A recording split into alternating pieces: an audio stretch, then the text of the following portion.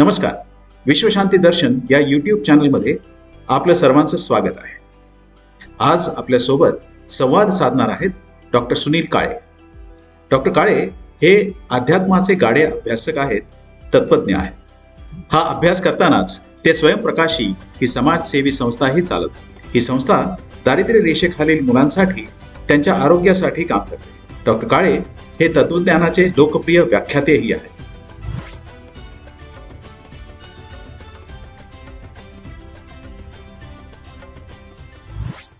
गंमत अशी आहे की आपल्या शरीरामध्ये ज्याला आपण म्हणतो जे योग चित्तवृत्ती निरोध हा योगाची डेफिनेशन किंवा जे आजवर सगळे संत मंडळी सांगत आले की अरे तुमचं अंतर्मन आणि बाह्यमन हे दोन वेगळी मनं आहेत.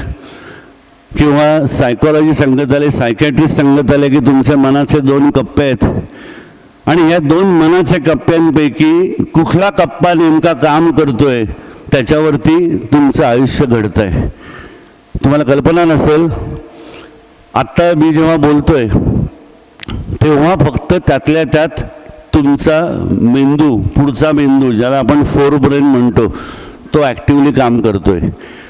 पण जर नीट विचार कराल तर इथे येईपर्यंत तुम्ही सकाळी उठल्यापासून उठल्यानंतर दात घासणं कपडे धुणं आंघोळ करणं गाडीत बसणं गाडी ड्राईव्ह करणं कॉलेजला येणं ठरलेले लेक्चर्स देणं ठरलेल्या गोष्टी करणं हे सगळं मेकॅनिकली तुम्ही करत असता आणि मेकॅनिकली करण्यासाठी तुमचा पुढचा मेंदू कामच करत नाही. आणि गंमत अशी आहे की मा मनुष्य आणि माकड ह्याच्यामध्ये मेजर फरक असा आहे की ज्या क्षणी मनुष्य म्हणून आपण इव्हॉल्व्ह झालो त्या क्षणी आपला forebrain forty percent advance झालेला आहे.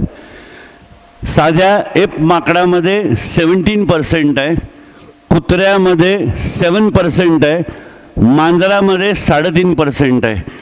मग मला सांगा चाळीस टक्के आपल्याला फोर ब्रेन डेव्हलप झालेला आहे आणि आपण त्याचा वापर करतच नाही आहे हे सगळं सिद्ध झालेलं आहे. जगभरात प्रयोग करून की दिवसभरात on an average a common man utilises hardly one or five percent of his forebrain म्हणजे आपल्या आपली सगळी skills imagination skill creative mind creative brain ज्याला आपण म्हणतोय तो सामान्य मनुष्य एक ते पाच टक्के मॅक्झिमम वापरतोय.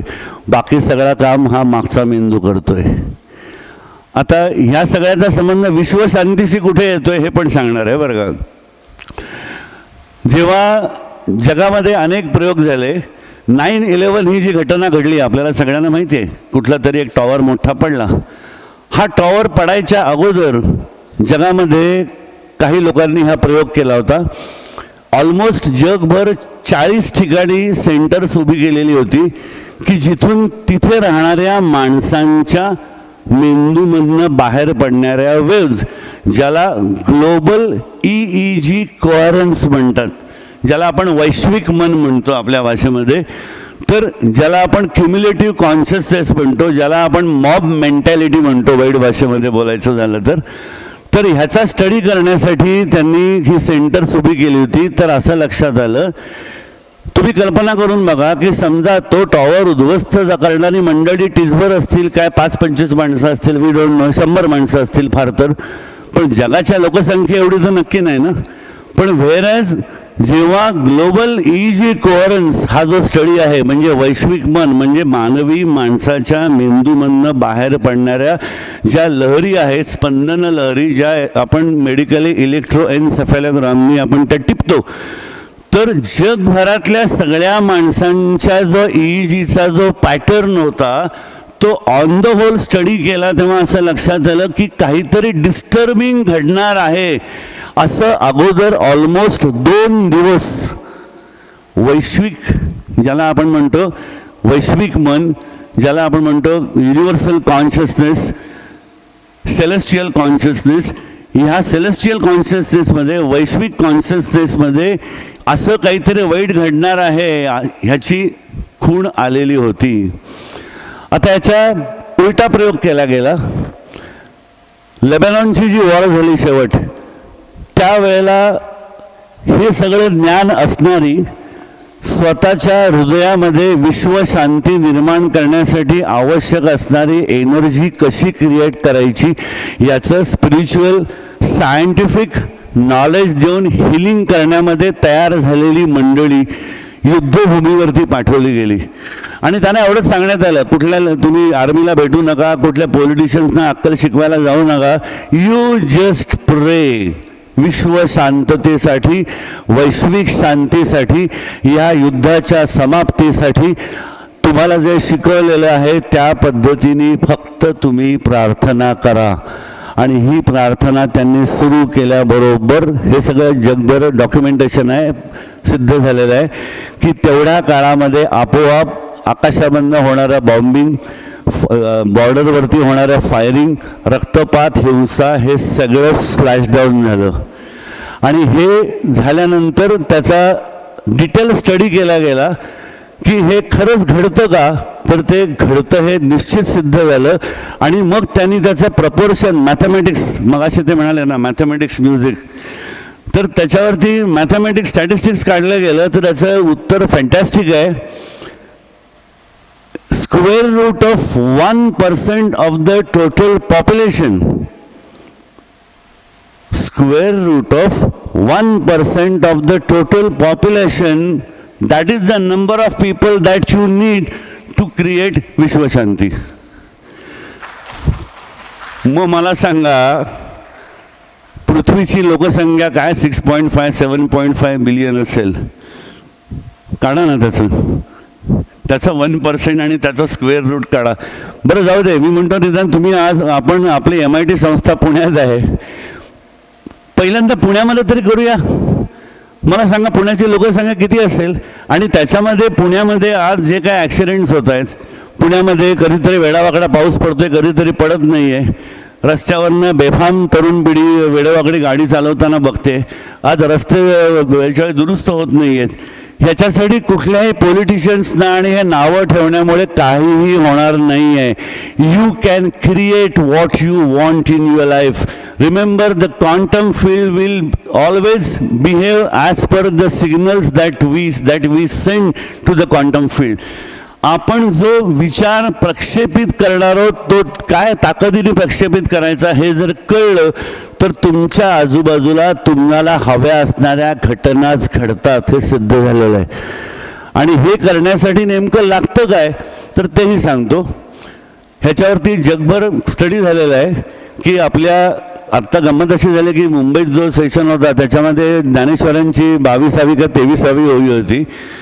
त्याच्यामध्ये पहिल्यांदा त्यांनी मज हृदयी सद्गुरू तेणे पाविलो वगैरे वगैरे की त्यांच्या सद्गुरूंना हृदयात स्थापन केल्यामुळे मी हा भवसागर पार करू शकलो आणि त्यामुळे वगैरे वगैरे. तर त्याच्यामध्ये मज हृदयी सद्गुरू हृदयी शब्द का म्हणाले असतील माऊली? माझ्या मनामध्ये सद्गुरू आहेत माझ्या डोक्यात आहेत माझ्या कणाकणामध्ये आहेत असं काहीही म्हटलेलं नाही आहेत त्यांनी स्पेसिफिकली सांगितलं आहे मज हृदयी सद्गुरू. तर नेमकं ह्या हृदयाला महत्त्व काय? आहे एक डॉक्टर म्हणून मी जेव्हा शिकलो तेव्हा ठीक आहे. त्याची ॲनाटॉमी शिकलो कॉरोनरी आर्टरीज शिकलो त्याच्या बारीक बारीक ब्रांचेस शिकलो. मग योगामध्ये अभ्यास केल्यानंतर ठीक आहे त्याच्यामध्ये सप्तचक्रांमधला ज्ञानमय कोश काय आहे ते शिकलो.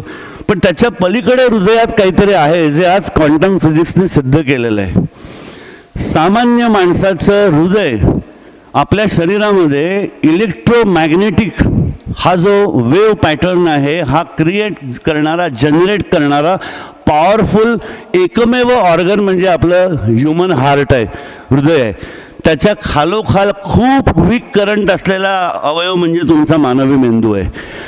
तर या हार्टमधनं जे इलेक्ट्रोमॅग्नेटिक फील्ड क्रिएट होतं ते अतिसामान्यातल्या सामान्य माणसाच्या बाबतीत सामान्य गॅजेट्सनी जर आपण मोजायचं ठरवलं तर पाच ते आठ फूट डायमीटर एवढं मॅग्नेटिक फील्ड सामान्य माणसाचं हृदय क्रिएट करत असतं. आणि ज्याला इलेक्ट्रोमॅग्नेटिक पल्स डिटेक्टर म्हणतात म्हणजे थोडंसं फिजिक्समधलं ॲडव्हान्स मशीन त्यांनी जर टॅप करायचं ठरवलं ह्युमन माणस एका ह्युमन हार्ट तर काही किलोमीटरपर्यंत ट्रॅक करता येतं एका माणसाच्या हृदयामधनं बाहेर पडणारं इलेक्ट्रोमॅग्नेटिक पल्स म्हणजे मला सांगा की आत्ता आपण जेव्हा एकत्र एवढी माणसं बसलेले आहोत तेव्हा आपल्या सगळ्यांची हार्टमधनं बाहेर पडणारी इलेक्ट्रोमॅग्नेटिक फील्ड एकमेकांना टच करतायत का नाही? जे जे भेटे भूत ते ते मानी जे भगवंत एकोहम बहुस्यात आम्ही सगळे एक आहोत वी आर ऑल वन हे सगळं ॲक्च्युअल क्वांटम फिजिक्सच्या लेवलला घडत असतं. आता ह्या ह्युमन हार्टची आणखीन गंमत सांगतो. या हार्टने नेमकं काय करता येतं? एक जगामध्ये घडलेली घटना आहे. एका बाईला कॅन्सर झालेला होता आणि ती जगभर हिंडत होती की माझ्या कॅन्सरला ट्रीटमेंट आहे का? तिला ब्लॅडरचा कॅन्सर होता. आणि सुदैवाने तिच्या तिला शोध लागला आणि चायनामध्ये एक असं हॉस्पिटल आहे की जे मेडिसिनलेस हॉस्पिटल आहे. तिथे ती गेली आणि तिथं तीन स्पिरिच्युअल हिलर्स त्याची व्हिडिओ पण तुम्हाला बघायला मिळेल. तीन स्पिरिच्युअल हिलर्स उभे आहेत. समोर ॲक्च्युअली ब्लॅडरला कॅन्सर झालेला ट्युमर झालेला सोनोग्राफी मशीनवरती दिसत आहे आणि ते तीन हिलर्स काहीतरी चॅन्ट करतायत. रिअल टाईममध्ये साडेतीन मिनटामध्ये तो ट्युमर गेलेला दिसतोय. ही फिल्म आहे.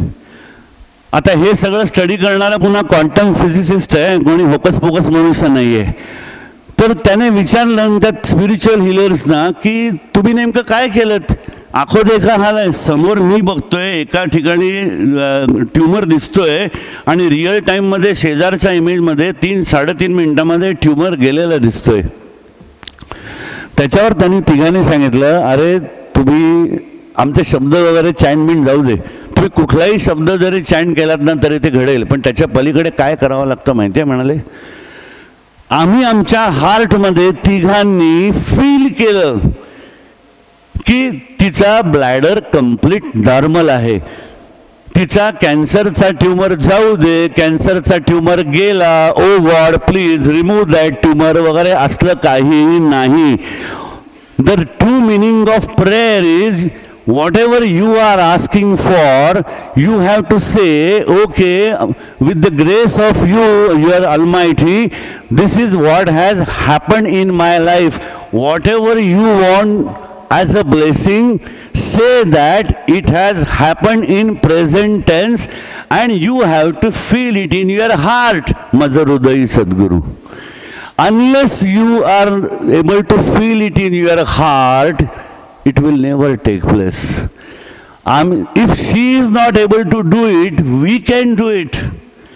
कारण ती पेशंट वैतागलेली आहे तिचा विश्वास बसणं अशक्य आहे की माझा ट्युमर गेला आणि ट्युमरशिवाय मी मस्त आयुष्य जगते हा विश्वास तिला मिळणं अशक्य आहे पण आम्हाला आहे ना तर आम्हाला आमच्या प्रेयरची ताकद माहिती आहे आम्हाला त्याच्यामागचं विज्ञान माहिती आहे की प्रत्यक्षात the reality there is no reality the reality is observer's perception this is the definition of reality in today's quantum physics मग आमचे शंकराचार्य सांगत आले सगळं विश्व म्हणजे माया आहे. जेव्हा हे सांगितल्यानंतर शंकराचार्यांची चेष्टा करण्यासाठी एका अरुंद गल्लीतनं ते चाललेले असताना समोरनं हत्ती पाठवला.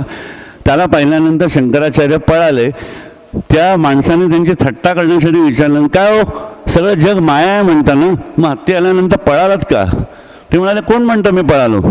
कोण म्हणतं म्हणजे मी पाहिलं ना पळालो. ते म्हणाले एक लक्षात घे हत्ती आला हे खरं असेल तर मी पळालो हे खरं आहे. पण हत्ती पण आला नाही आणि मी पण पळालो नाही. काय म्हणणं आहे तुझं? It is the reality is ob your observer's perception so ते तिघजण म्हणाले की आमच्याकरता आम्ही रियालिटी क्रिएट केली की तिचा bladder complete first class normal आहे. ती जी सोनोग्राफीवरती ब्लॅक शॅडो दिसते ना ती तुम्हाला दिसते मला नाही आम्हाला नाही दिसत आहे.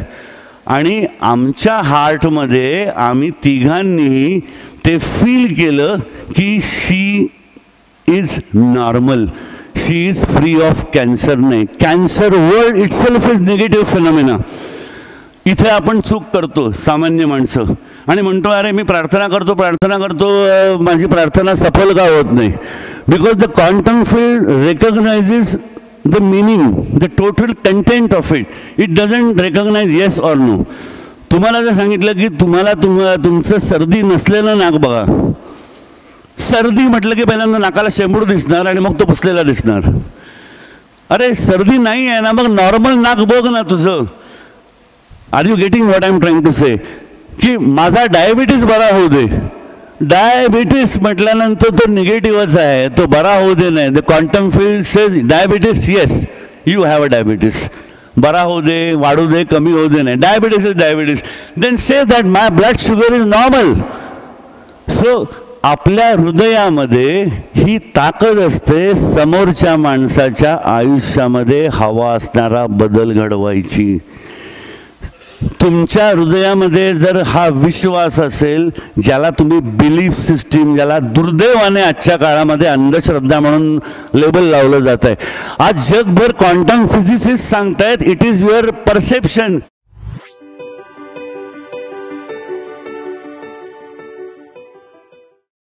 मेरा कहना यही है दोस्तों कि हमारे पूर्वजों ने हमारे लिए बहुत कुछ ऐसा करके रखा है जिसे हमें उन पर गर्व हो। पर दोस्तों हम भी तो ऐसा कुछ करके दिखाए कि उन्हें हम पे गर्व हो।